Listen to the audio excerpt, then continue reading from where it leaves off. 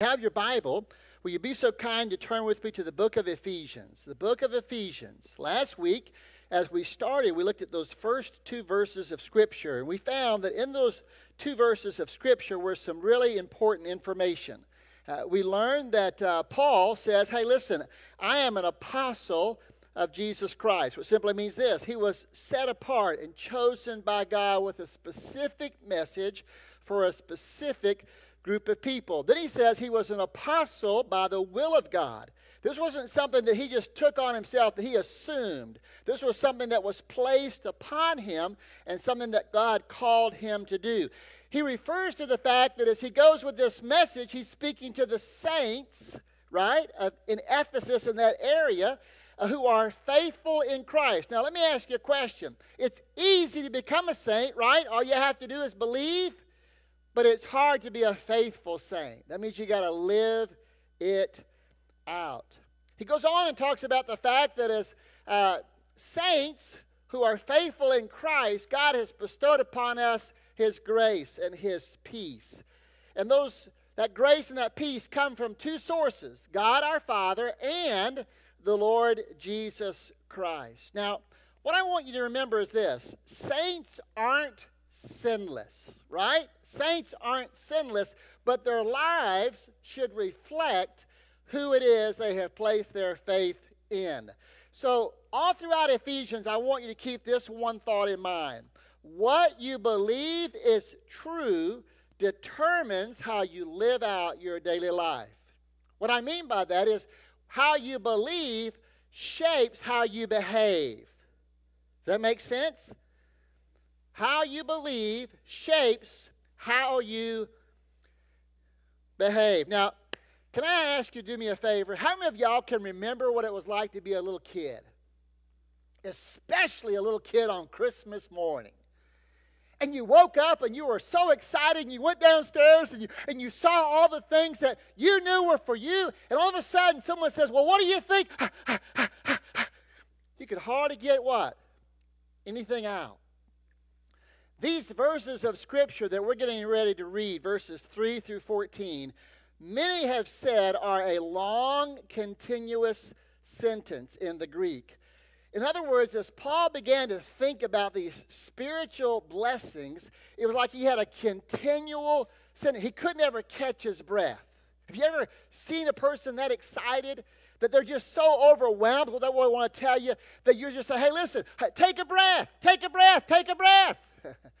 That's how excited Paul was when he became uh, talking about these spiritual blessings. In fact, as we read this, what you're going to find is this this phrase, in Christ, in Him, is going to be contained, are you ready? 11 times in these few verses of Scripture. So if you found your place in Ephesians chapter 1, verses 3 through 14, would you be so kind to stand with me as we read God's Word together?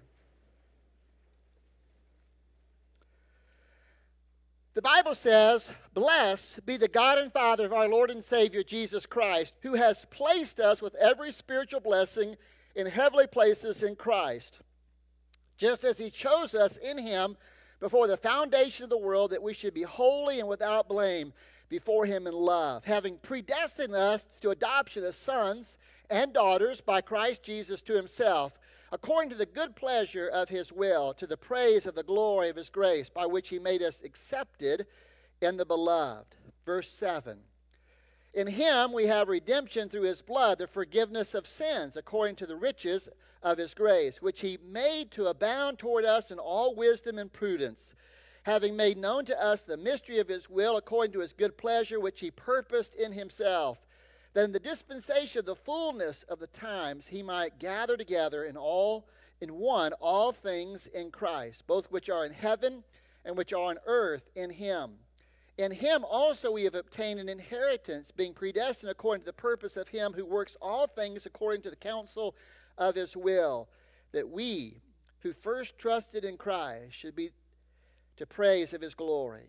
In him you also trusted, after you heard the word of truth the gospel of your salvation, in whom also having believed, you were sealed with the Holy Spirit of promise, who is the guarantee of our inheritance until the redemption of the purchased possession to the praise of his glory. Join me as we pray together. Father, as we just read that text together, we can begin to see the crescendo of Paul's excitement. Help us, O oh Lord, see how that applies to us as believers today, as saints even today, and we'll be grateful if we ask these things in your name. Amen and amen. And you may be seated. What I want to do this morning, really simply, is lay out for you what the Bible says are our spiritual blessings when we find ourselves in Christ. Once we've given our life to Christ, Christ gives us spiritual blessings. The first one is this He chose us. He chose us. Look back at verse 4. In verse 4, what does it says? Just as He chose us in Him. Notice before the foundation of the world. Now, can I ask you a question? When you were younger and you were getting ready to play in various neighborhood sports, what did they tend to do? They put you along the wall and they said, okay, we're going to have Johnny and we're going to have Tim be the captains. All right, y'all choose your teams. Anybody get choose, chosen last? Anybody wonder if you're going to get chosen? I want you to know something. The Bible tells us that God chose you. God chose you. Paul wants the people in Ephesus who are continually wrestling against all the evil influences of the culture to know that God chose them in Christ to be holy and blameless. Paul wants them to know he loves us. He loves us. Now, here's the whole thing I want you to grasp. Paul says all that knowing full well the condition of our heart. Amen? He, he knows that the Bible tells us we were dead in our sins. But God demonstrated, God showed his great love for us by sending Christ to die for us while we were still what? Sinners, enemies, at odds with him. Now, here's what I want you to grasp we did nothing to deserve what it is God has done for us. We did nothing to deserve what it is God has done for us. As I stated, all of this was done even before the foundation of the world. We were chosen, selected. Secondly, we were adopted. We were adopted. I love what verse 5 tells us. Look at verse 5. Having predestined us to adoption as sons by Jesus Christ to himself, according to the good pleasure of his will. Now, I just want to just be real confessional. Sometimes when you see that word predestination, we can chase all kinds of rabbit trails. And when we begin to chase those rabbit trails, we miss out on what it is Paul wants us to understand. Paul wants us to understand as we've been chosen, we have been adopted. We've been adopted as sons and daughters of the King. Now, think about it with me for just a moment. If you've been adopted, into a family, that means you've been granted full status as though you were naturally born into that family and you're given all the benefits of being a part of that family. Isn't that what John 1:12 tells us? Yet to all who did receive him, to those who believed in his name, he gave the right to become what? Children of God. Children of God. We are treated as though we had already been born into the family that adopted us. I love what 1 John 3 1 tells us. 1 John 3 1 tells us about the incredible love of God this way. How great is the love the Father has lavished on us that we should be called children of God. Can, can I just tell you something? When we come to the place that we recognize what Christ has done for us and we receive and accept that for ourselves, we are no longer at odds with God. We're no longer at odds with him. There is now what? Peace because he gives us his peace. All because we were understanding that we have been chosen, we have been adopted as his sons and daughters. Thirdly, are you ready? We've been accepted. We have been accepted. Look at verse 6. To the praise of the glory of his grace by which he made us accepted in the beloved, accepted in the beloved. Now, that's what the New King James tells us. In more modern translations, it says this He lavished on us in the beloved. He has poured out on us who belong to his dear son. Can I just tell you something that I've learned as I watch people in this day and time? They need to feel accepted. Can I just tell you something? As people walk through that door and come into this church trying to find a home, you might think that you are friendly, but what they're really looking for is are you willing to accept me, warts and all? Are you willing to accept me? The baggage that I bring and the person that I know God wants to help me become. Are you willing to accept me?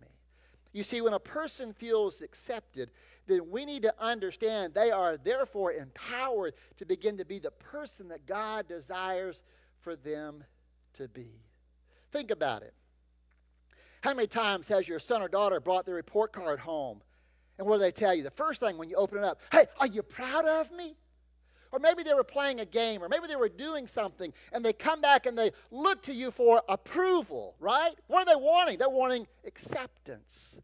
And what I want to continue to encourage you is that God doesn't base his acceptance for us on how we what? Perform. The Bible tells us he already lavished his love upon us even before the beginning of the world. The blood of Christ has taken away the guilt of our sin. And I'm just going to tell you something. We stand before him perfectly and totally accepted. Whew. We're redeemed. We're redeemed. Look at verse 7. In him we have redemption through his blood. We have what? Redemption. Now, redemption implies that you have been purchased. In other words, someone has paid the ransom on something that you owed. The price for our sin, the payment to buy us out of eternal condemnation, was fully paid. By whom? Christ Jesus, when he shed his blood on the cross of Calvary. Our redemption is spoken of as an event that has already taken place. In fact, over in Colossians, look what Paul says. He says this He has rescued us from the dominion of darkness and transferred us into the kingdom of the Son he loves. In him we have redemption, the forgiveness of sin. Listen, we are no longer slaves to the way in which we used to live. God desires to liberate us and redeem us because we have been bought with a price. Bought with a price. And then the flip side of redemption is we experience His forgiveness. His forgiveness, as the verse goes on and says, we have been redeemed through His blood, the forgiveness of sin according to the riches of His grace. We no longer have to carry the burden of guilt for violating God's holy laws. We no longer have to do that. Can, can, can I just tell you something I see in people all the time? I, I see people who are still carrying the burden of their guilt as though it wasn't forgiven at Calvary. Does that chain not get heavy? Oh, my dear friends, if you could ever understand, God doesn't want you to live under condemnation. God desires for you to live in the liberty of His love and grace. Listen to Psalm 130. The Bible tells us, Lord, if you kept a record of our sin, who, O Lord, could ever survive? But you offer forgiveness that we might learn to fear you. The Bible tells us He has cast our sin as far as the east is from the west. Now, you think about that. Where do the east and the west ever meet? They don't. do they? Whew. Man, we're chosen. We've been adopted. We've been accepted. We've been redeemed. We've been forgiven. And these verses in 8 and 10 talk about the mystery of His will. Look what the Bible says.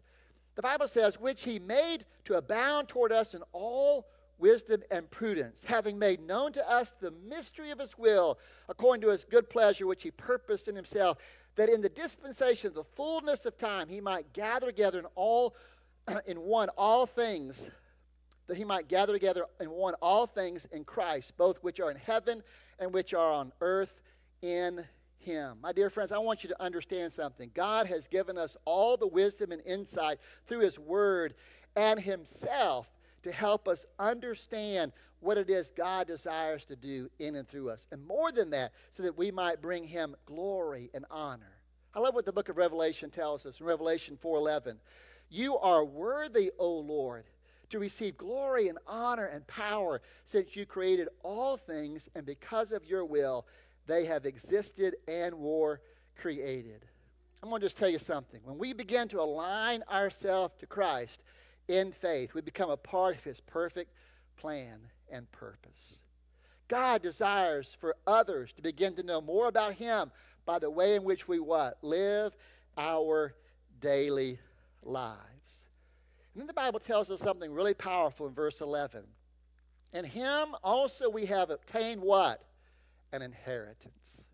An inheritance. Now, can I just give you a little thought? What's included in this inheritance? What is it that God desires to give to us, not only now, but in the future?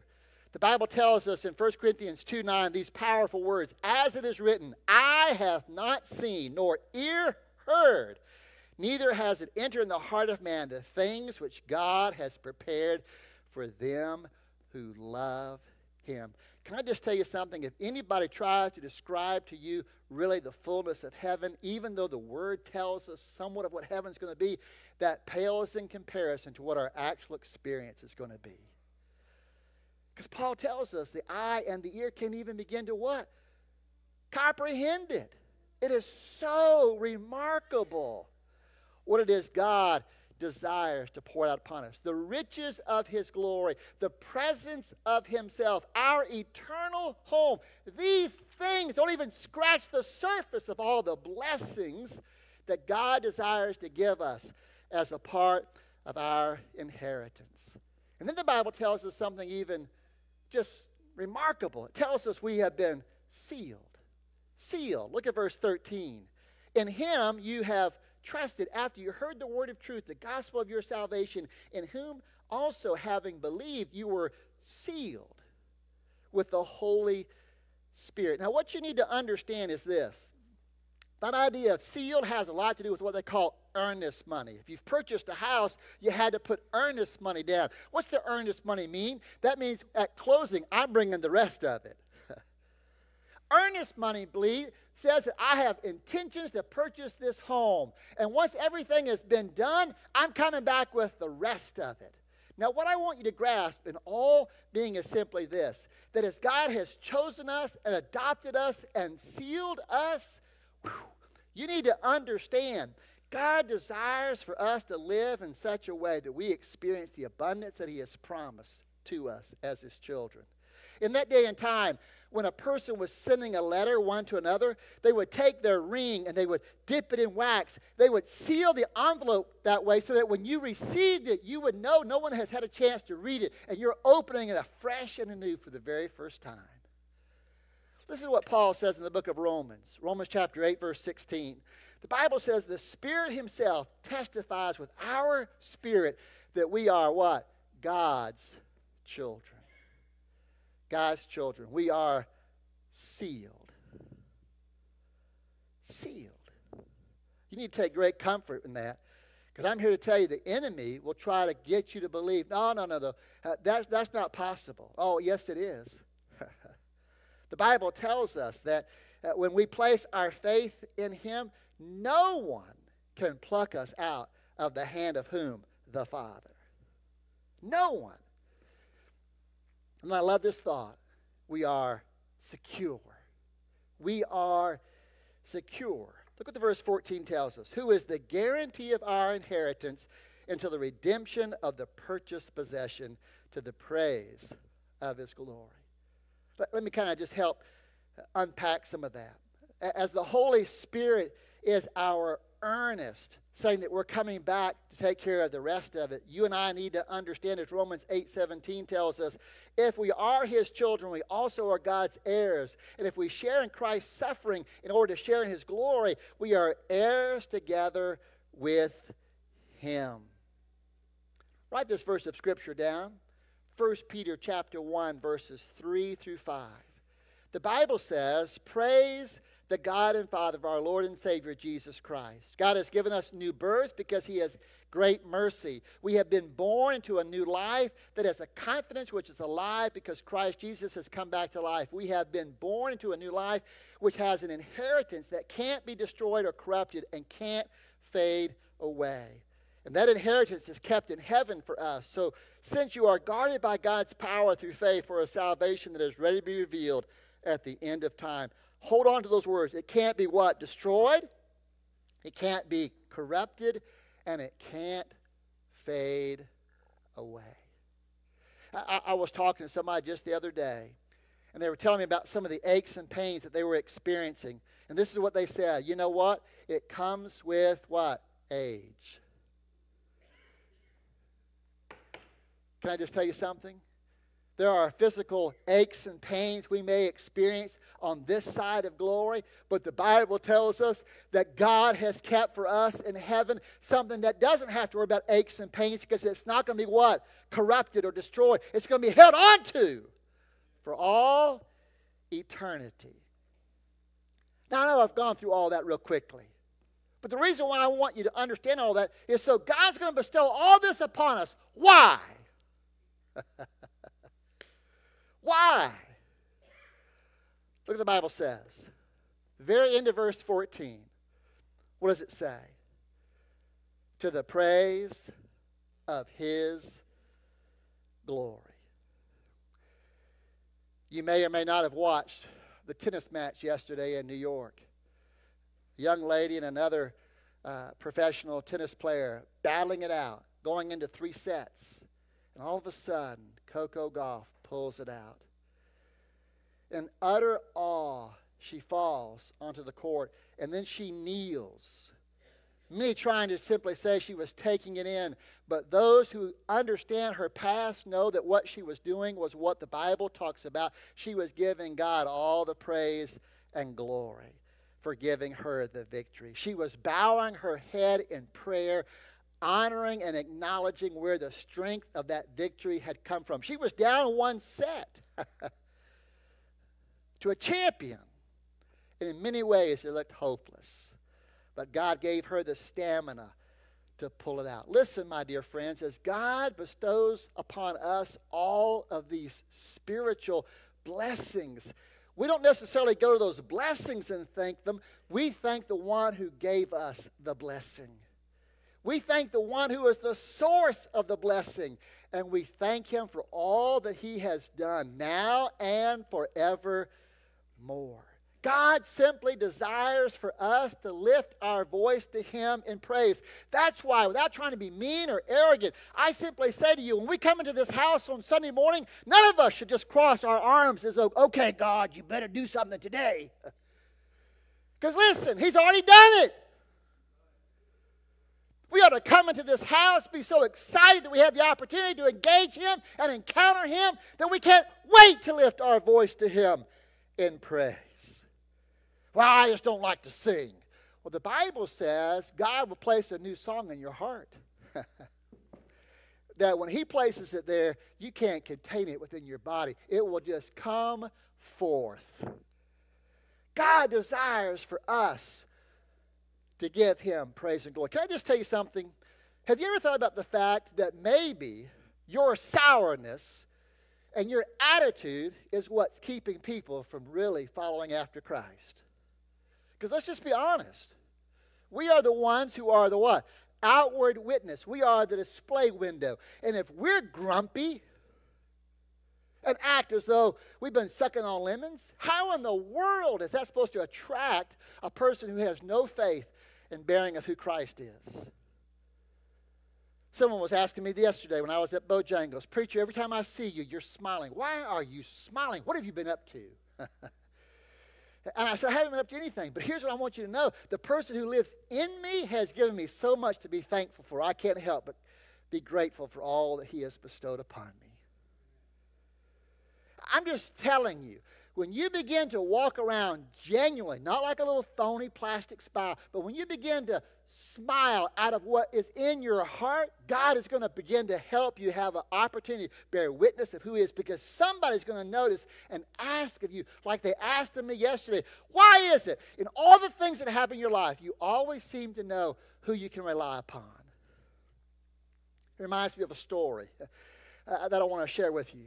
It's a story about a guy by the name of Carl. You know a lot of Carls. He's quite wealthy and somewhat arrogant. He was the largest landowner of the area. he was going along his farm and just counting all the many things he had acquired and saying to himself, There's nobody in this area that has more than me. He happened to come across one of the poor tenant farmers who helped him on his farm. His name was Hans. He said, Hans, what are you doing?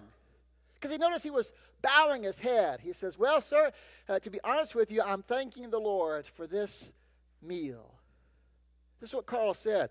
If that's all I had to thank God for, I sure would thank Him. Hans said, Well, sir, I, I just want you to know the Bible tells us we ought to thank God in all circumstances, and I'm thanking Him that He's given me something in which to eat today. They have a brief conversation. And all of a sudden, before Carl leaves, Hans says, Sir, I've got something I need to tell you. It reminds me so much of the message that we heard in Sunday school this morning. Carl reaches around and says, What do you want to tell me? He says, Sir, well, here's what I want you to know. I, I had this dream last night. And in the dream, I was told that the richest man in the valley is going to die, is going to die tonight. The richest man in the valley is going to die tonight. What do you think that means? Well, sir, I, I don't know. That's just the dream I was given. So here's the crazy thing. Carl gets home and begins to think about that dream, and he begins to realize there is nobody in the valley more richer than I. so I guess that means I'm going to die tonight. So I'm going to outwit God. I'm going to call my doctor. To have my doctor come and hang out with me and keep a constant monitoring of me because if he can watch my symptoms and watch my physical appearance, maybe if anything God wants to do, he can thwart it. The doctor came over, played cards with him, played games with him, talked with him. Early in the morning, Carl says, I knew it wasn't going to happen. I hate to waste your time, Doc. Doctor said, Sir, that's been fine. I, I appreciate that. I'll give you my bill uh, sometime toward the first of the week. I hope that you have a good day. The doctor leaves. In a few hours, there comes a knock at Carl's door. It's the messenger.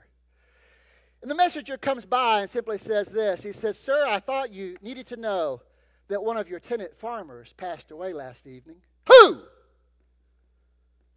It was Hans. He went home to be with the Lord last evening you, you see, Carl might be physically the most wealthy person of the valley. But Hans was the one who was the most spiritually wealthy. And that dream was an encouragement that that evening God was going to call Hans home. I love the little story of a little boy. I think of myself when I was much younger my grandparents, when I would go to Cary and stay there sometimes for the summer, would take me to the Piggly Wiggly. And my granddad would say, Skeeter, pick out anything you want. Well, of course, as kids, what do you have your eye on? The candy aisle. Now, there was this jar that sat at this one cash register that the, the, the area of it was just big enough for you to put your hand in. And what was amazing is I learned that if I didn't put my hand in here, guess what the cashier did? The cashier said, Son, don't you want some of this candy? I said, Mm hmm, mm hmm. Well, get you some. No, no, no. Let me just reach in there and get it for you. You know what I learned?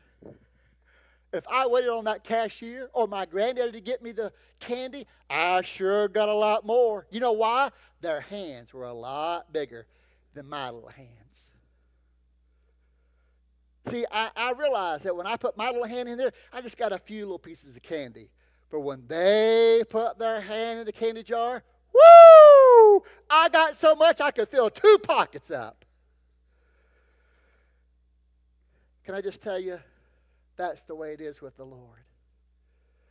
You see, I want to remind you how do we access access all these blessings? Go back to verse 3 if you have your Bible still open. Look what it says. Blessed. By the way, that word means like eulogy, speaking good words. Be the God and Father of our Lord and Savior Jesus Christ. Look what it says. Who has blessed us. Doesn't say who will bless us.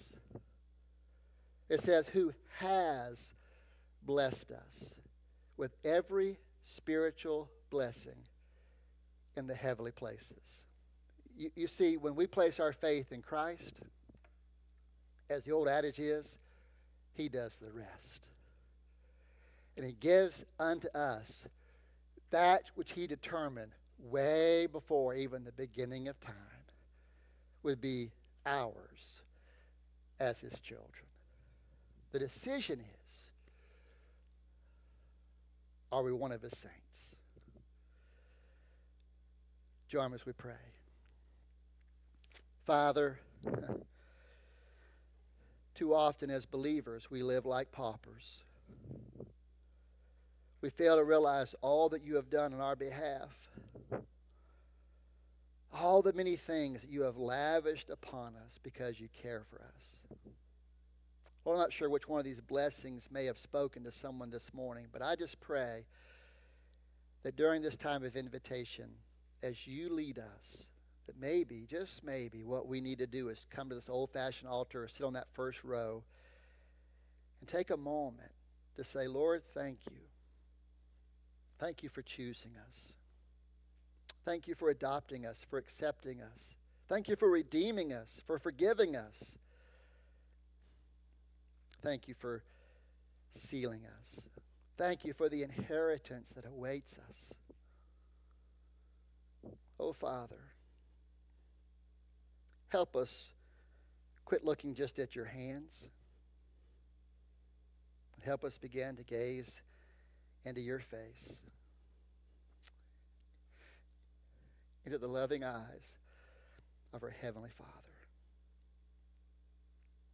In these moments, my simple prayer is that you'll allow the Lord to do only that which He can, and that He'll find you responsive to his leadership.